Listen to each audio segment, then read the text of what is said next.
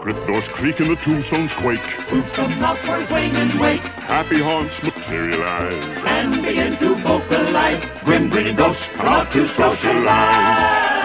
Now don't close your eyes and don't try to hide. Or a silly spook may sit by your side. I'm here at Smokejumpers in the Grizzly Peak area. And I'm going to try out a green apple lemonade. It's a Halloween treat. Let's go check it out.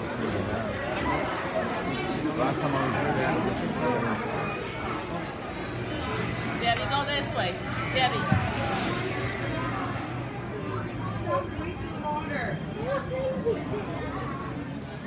So I apologize if the angle's a little crooked. I'm, I'm filming solo right now because Shelby has to sit down. Um, so this is the Green Spell lemonade available at Smokejumpers. It's got like, Guess, blood smeared on the side. Um, and these little boba balls. So I'm gonna try this out, see how it is. Bottoms up.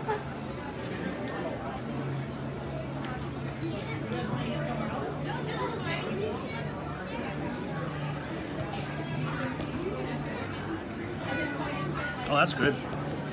Um, it's it's got the little bursting cherry flavored boba balls, kind of like what you find in Pandora. Um, the green lemonade tastes similar to um, the lemonade that you find at the Galactic Grill. I'm pretty sure it's the same lemonade, but the little burst of cherry and then the the cherry sauce smeared on the side um, really gives it an extra boost. So it's it's a really good specialty drink. Um, so if you're looking for a Halloweeny specialty drink that's non-alcoholic, this is a good choice.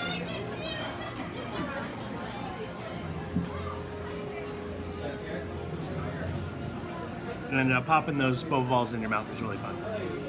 So that's it for this Taste Test Adventure here at California Adventure. If you enjoyed this video, be sure to hit the subscribe button. Follow me on Twitch, both are Big C TV.